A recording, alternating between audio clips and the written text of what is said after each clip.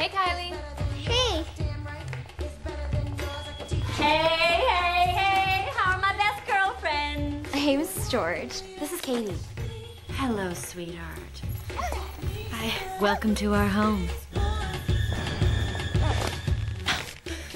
just want you to know if you need anything, don't be shy, okay?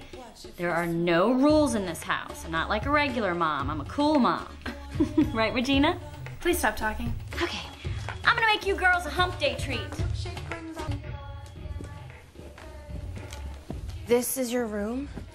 It was my parents' room, but I made them trade me. You guys, happy hour is from 4 to 6. Um, is there alcohol in this? oh, God, honey, no. What kind of mother do you think I am?